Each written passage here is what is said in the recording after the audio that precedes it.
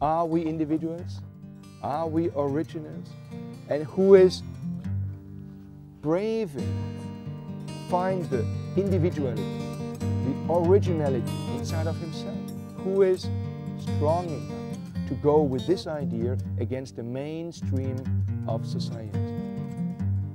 Where we are, like the horses, somehow subjects, somehow particles in a picture which is maybe designed by somebody else.